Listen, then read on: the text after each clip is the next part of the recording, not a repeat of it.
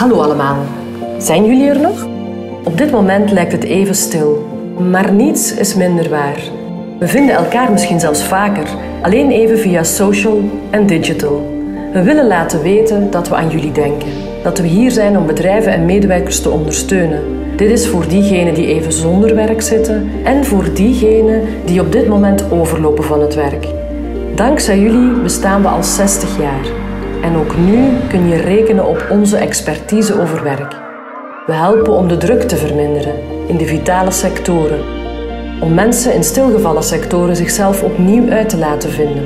We helpen bijvoorbeeld actief mee in de ondersteuning van de zorg, zodat zij zich kunnen focussen op datgene waar zij zo goed in zijn. Vandaag zoeken we samen naar oplossingen, zodat we klaar zijn voor morgen en de vele morgens die nog zullen volgen. Hou afstand, maar laat elkaar virtueel niet los. Wat doe jij morgen?